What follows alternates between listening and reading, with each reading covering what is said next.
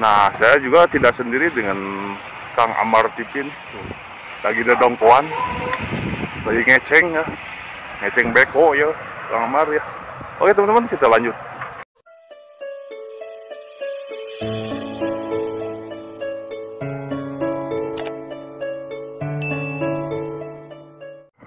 Nah, kita tadi dari arah Ciberem ya, kalian pasir dari arah sana tuh, teman-teman.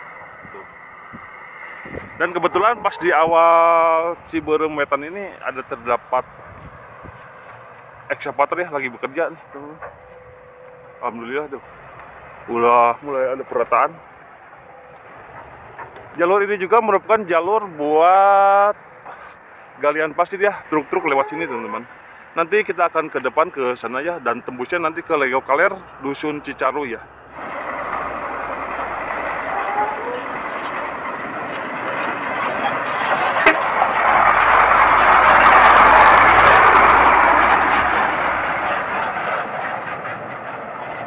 Jadi jalur ini merupakan jalur utama untuk lalu lalang ya proyek galian pasir ataupun proyek tol Cisumdawu bisa lewat sini. Namun di sebelah sana lagi ada perataan, mungkin jalurnya akan di sebelah sana nanti ya untuk proyek tol Cisumdawu untuk membedakan jalurnya antara uh, proyek galian pasir ya yang ada di daerah Ciberem dengan proyek tol Cisumdawu. Biar ada perbedaan gitu teman-teman, biar tidak pagiling gisik gitu ya. Oke teman-teman, kita akan lanjut menuju ke arah sana ya ke arah uh, dusun Cicaru, Ciberem Wetan juga ya, masih Ciberem Wetan terus dusun Cicaru ya.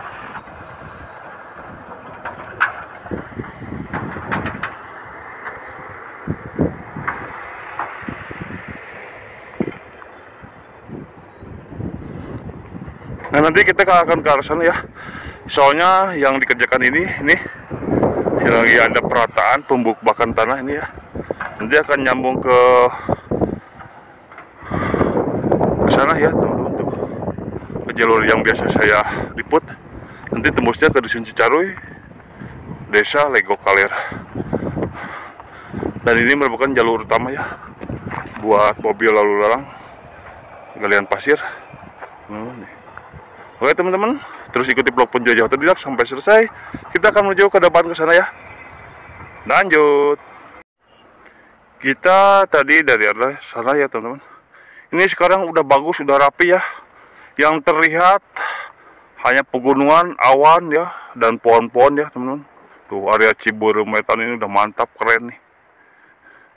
Dan ada juga pembatas jalan ya nih. Buat jalan tol oke teman-teman kita akan lanjut ke depannya melihat kondisinya seperti apa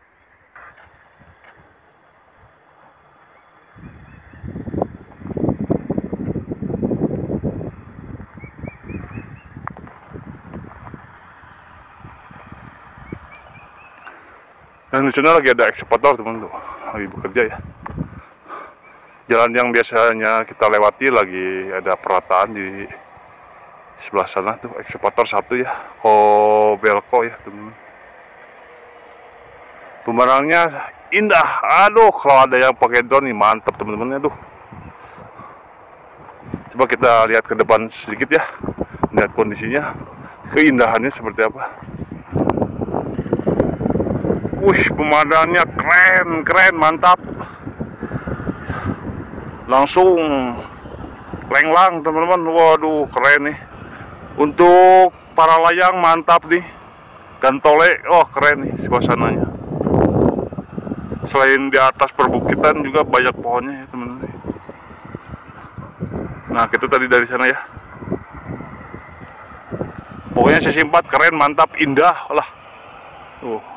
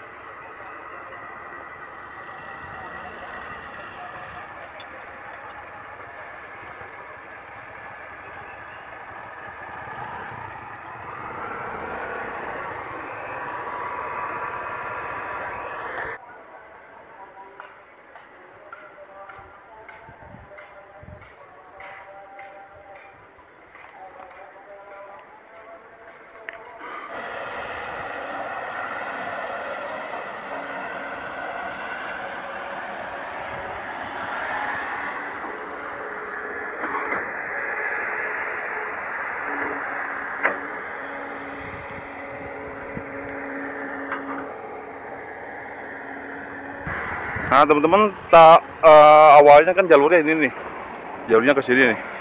Karena pengerjaan proyek tol ya, ekskavator buat bikin jalan baru. Makanya dikasih pembatas teman-teman. Biar orang tuh nggak pada lewat ya, untuk keamanan bersama lah teman-teman. Oke. Dan alhamdulillah ini lokasinya udah bagus sih, udah rapi, udah lenglang ya. Sesi 4 keren, mantap. Sedangkan yang di sebelah sana merupakan arah Cicarui, dusun Cicarui, desa Lego Kaler ya, teman-teman. Kecamatannya Pase ya, udah beda lagi kecamatan. Sedangkan yang saya tempati ini adalah kecamatan Cimalaka, desa Ciberembetan ya, teman-teman. Arah depan, arah dusun Cicaru ya, yang tanjakan itu sekarang udah diratakan kembali ya, sama dan jalan ini ditutup teman-teman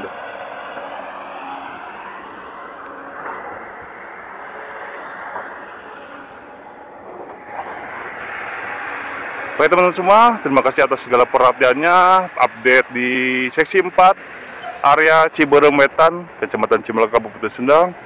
Saya cukup sekian, banyak terima kasih. Wassalamualaikum warahmatullahi wabarakatuh.